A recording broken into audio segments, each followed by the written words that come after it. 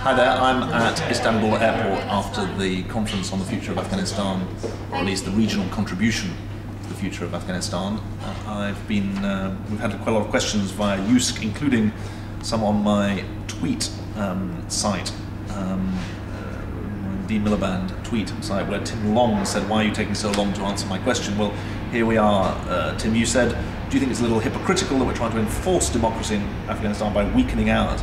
I don't accept that we're weakening our democracy. I mean, there's wide cross-party support for what's going on, and we're not trying to enforce democracy in Afghanistan because I think it's pretty clear from the BBC poll that the Afghan people don't want to go back to Taliban misrule. Just six percent said they supported going back to the Taliban rule in the BBC poll. So I don't think I don't think it is hypocritical.